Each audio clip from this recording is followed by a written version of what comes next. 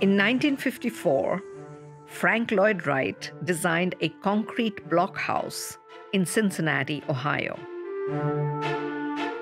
His clients were automobile dealer Gerald B. Tonkens and his wife Rosalie Tonkens. Gerald took the lead in the project, recording the construction of the house in great detail on 16mm film.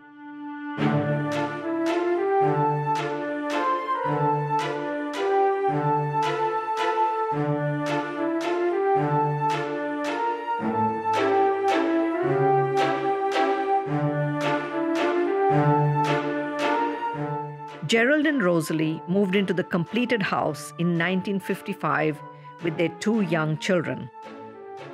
They raised their family in the Tonkens house. But in the mid 1960s, Gerald and Rosalie separated. Rosalie left for New York, while Gerald remained in Cincinnati and kept the Tonkens house. When I met him, he owned this beautiful house. I never had seen a Frank Lloyd Wright house. I had no idea about it, and the house meant nothing to me other than it was so unusual and it was beautiful. Beverley Joy Ganson married Gerald B. Tonkens in 1971 and moved to live with him in the Tonkens house. It was part of him and it became part of me. I really loved this house and I got used to it and I knew every crack and everything, every cobweb that was in the house. We both loved it.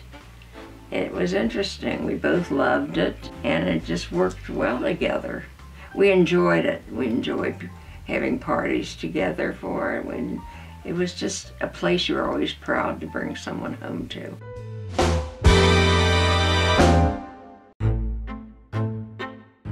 I met Beverley when she had finally decided to sell the house. Very excited. Yeah. A Bit breathless. And it is their baby. The house is their baby. Now it's going to be our baby. So this is like a really big deal. Excited. Okay. Okay. My husband, Lucas Rooker, and I, Safina Oberoi, were the lucky new owners. Hello. Hi. I'm really thrilled that you're buying it. oh, really? Yeah, oh. there are people that we've turned away, Really? really. They wouldn't understand the house. They wouldn't take care of it such, you know. So you're the chosen ones. Hey, thank you. and you, I, you will have Thank you. many, many happy years here. Beverley had done an excellent job of furnishing and maintaining the Tonkens house. It appeared in mint condition.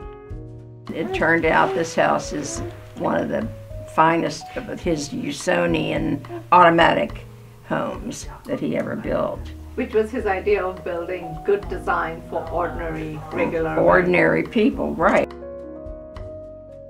And this is all right furniture. It's all, all. This, all of this is the one he right designed. furniture. Such a control freak, no? Huh? Control freak. totally. An egomaniac. And here is the bedroom. A lot of built-in drawers here and the closets. People sometimes have said it looks like a ship in the night. Beverley and Gerald lived together in the Tonkens house for almost 20 years. In 1989, Gerald passed away after a long illness. A few years later, Beverley met and married an old school friend, Sherman Vangrove. Sherman moved into the Tonkens house with Beverley. The house saw Beverley's children grow up and have children of their own. By the time Beverley sold the Tonkens house to us, she had stewarded it for 42 years.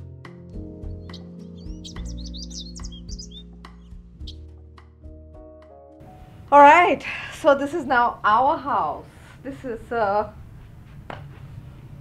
we moved yesterday, which means we just brought in a whole lot of boxes of our stuff. We didn't bring any furniture because all the Frank Lloyd Wright furniture comes with the house at great expense. And now this is our house, which is a bit scary. Lucas and I moved into the Tonkens house in 2015, but we had barely enjoyed it for a few weeks when disaster struck. What had begun as a minor leak in the roof developed into a major fault line. And after the first big storm, the roof began to fail.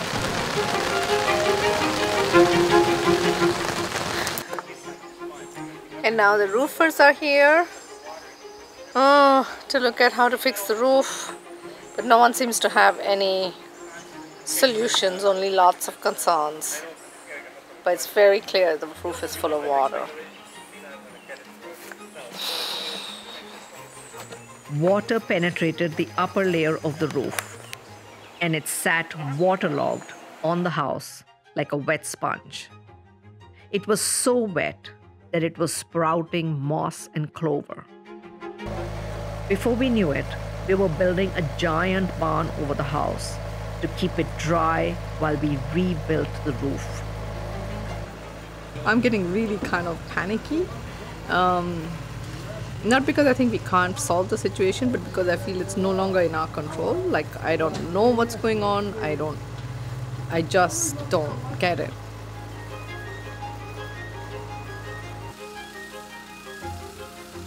You're doing so much all at once. You plunged in right away with a lot of construction going on around you that you're not used to and you're taking it way back to the skin and bones level, which probably is right.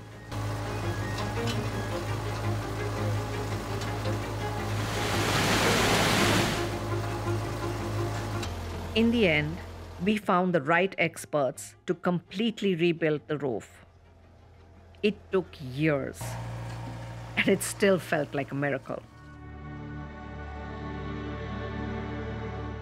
Now I look here, I'm standing on this roof and it doesn't feel wrong. Look, it's dry. It's been raining like crazy. The damn thing is dry. like Yeah, it better be. That's the whole point behind roofs. Here's our work area. That's where we have all the plans of the house, uh, all the plans that we're using for the restoration, for the roof and so forth. But it's also our dream area. Because one of the things we're doing is envisioning how the future would look like. We've made a model here that captures what we believe this house could look like if the portion that Frank Lloyd Wright has designed but wasn't built is in fact built. The swimming pool and the significant build-up in front of it. I think it's going to be exquisite. I really do. I mean, you've got the bones here, and you're going to wind up with a real sheer beauty. In the end, it's going to be magnificent. Beverley had always been encouraging to us, but I stopped inviting her to the Tonkens house. I was just deeply embarrassed at how long the restoration was taking. When I was finally ready to reach out to Beverley, I was too late. On July 15, 2023, Beverley Tonkens Vangrove passed away. Beverley's daughter Margie kindly invited me to join the family at the funeral. 15 minutes after mom, Ma Bev, Gigi, Beverley died, something magical happened. A rainbow appeared outside Margie's and my window and remained there for 20 minutes. We like to believe it was Margie's mom saying goodbye to us. People talk about her beauty and glamour. She had a sense of style and an eye that were unparalleled. But most do not know how hard her life was. When Gerald lost his business, the two of them started an Army surplus store in a rundown building in Northside. That business enabled them to keep their magnificent house that was such a part of their lives and identities. Beverley's family scattered her ashes in the garden of the Gerald and Beverley Tonkens house.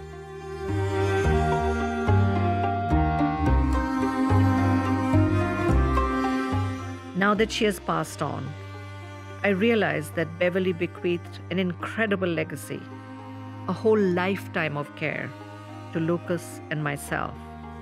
I now find myself believing that the restoration will be completed, and just as Beverley had wanted, the Tonkens house will be magnificent again.